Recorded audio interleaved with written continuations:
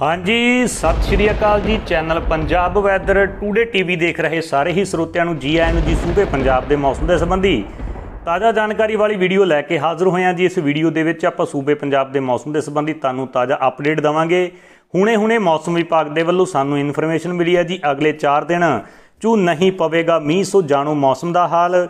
ਆਉਣ ਵਾਲੇ 4 ਦਿਨਾਂ ਚੋਂ ਮੀਂਹ ਪੈਣ ਦੀ ਬਹੁਤ ਘੱਟ ਸੰਭਾਵਨਾ ਜਿਸ ਦੇ ਕਾਰਨ ਪੰਜਾਬ ਦੇ ਨਾਲ ਲੱਗਦੇ ਇਲਾਕਿਆਂ 'ਚ ਹੁਮਸ ਭਰੀ ਗਰਮੀ ਰਹਿ ਸਕਦੀ ਹੈ ਅਜਿਹੇ 'ਚ ਚਿਪ-ਚਿਪੀ ਗਰਮੀ ਸਤਾਉਣ ਵਾਲੀ ਹੈ। ਸੂਬੇ 'ਚ ਮਾਨਸੂਨ ਦਾ ਇੱਕ ਮਹੀਨਾ ਬੀਤ ਚੁੱਕਾ ਜੀ। 1 ਜੂਨ ਤੋਂ 2 ਅਗਸਤ ਸਵੇਰ ਤੱਕ 244.4 ਮਿਲੀਮੀਟਰ ਮੀਂਹ ਪੈ ਚੁੱਕਾ ਤੇ ਐਤਵਾਰ ਨੂੰ ਸੂਬੇ 'ਚ ਵੱਧ ਤੋਂ ਵੱਧ ਤਾਪਮਾਨ 35 ਤੋਂ 40 ਡਿਗਰੀ ਜਿਹੜਾ ਦਰਜ ਕੀਤਾ ਗਿਆ।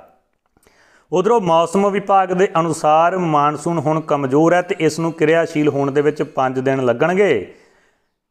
ਜੂਨ ਤੋਂ ਸਤੰਬਰ ਤੱਕ ਚੱਲਣ ਵਾਲੇ ਮਾਨਸੂਨ ਸੀਜ਼ਨ ਦੇ 2 ਮਹੀਨੇ ਬੀਤ ਚੁੱਕੇ ਹਨ ਅੱਧਾ ਮਾਨਸੂਨ ਲੰਘ ਜਾਣ ਦੇ ਮਗਰੋਂ ਹਾਲਾਤ ਇਹ ਹਨ ਕਿ ਦੇਸ਼ ਦੇ ਕਈ ਥਾਵਾਂ ਤੇ ਜਲ ਥਲ ਹੋ ਗਈ ਤੇ ਕਈ ਥਾਵਾਂ ਤੇ ਮੀਂਹ ਦਾ ਤਰਸੇਵਾ ਹੈ ਦੇਸ਼ ਦੇ ਕਈ ਸੂਬਿਆਂ 'ਚ ਹੜ੍ਹਾਂ ਨੇ ਦਸਤਕ ਦੇ ਦਿੱਤੀ ਹੈ ਹਾਲਾਂਕਿ ਕਈ ਥਾਵਾਂ ਤੇ ਮੀਂਹ ਮੰਗਿਆ ਜਾ ਰਿਹਾ ਤੇ ਹਾਲਾਂਕਿ ਮਾਨਸੂਨ ਦੇ ਪਹਿਲੇ 2 ਮਹੀਨੇ ਪਹਿਲੀ ਜੂਨ ਤੋਂ 31 ਜੁਲਾਈ ਤੱਕ ਦੇਸ਼ ਦੇ ਵਿੱਚ بارش ਜਿਹੜੀ ਆਮ ਦਰਜ ਹੋਈ ਸੋ ਦੋਸਤੋ ਇਹ ਸੀ ਜੀ ਸੂਬੇ ਪੰਜਾਬ ਦੇ ਮੌਸਮ ਦੇ ਸੰਬੰਧੀ ਅਗਲੇ 24 ਘੰਟਿਆਂ ਦੀ ਅਪਡੇਟ ਇਸ ਵੀਡੀਓ ਨੂੰ ਵੱਧ ਤੋਂ ਵੱਧ ਆਪਣੇ ਯਾਰਾਂ, ਦੋਸਤਾਂ, ਮਿੱਤਰਾਂ, ਬੇਲੀਆਂ ਦੇ ਨਾਲ ਸ਼ੇਅਰ ਕਰੋ ਤਾਂ ਜੋ ਉਹਨਾਂ ਨੂੰ ਵੀ ਸੂਬੇ ਪੰਜਾਬ ਦੇ ਮੌਸਮ ਦੇ ਸੰਬੰਧੀ ਤਾਜ਼ਾ ਜਾਣਕਾਰੀ ਮਿਲ ਸਕੇ ਰੀਅਲ ਸਟੀਕ ਇਨਫੋਰਮੇਸ਼ਨ ਮਿਲ ਸਕੇ। ਵੀਡੀਓ ਦੇਖਣ ਦੇ ਲਈ ਤੇ ਆਪਣਾ ਕੀਮਤੀ ਸਮਾਂ ਦੇਣ ਲਈ ਤੁਹਾਡਾ ਸਭ ਦਾ ਬਹੁਤ ਬਹੁਤ ਧੰਨਵਾਦ।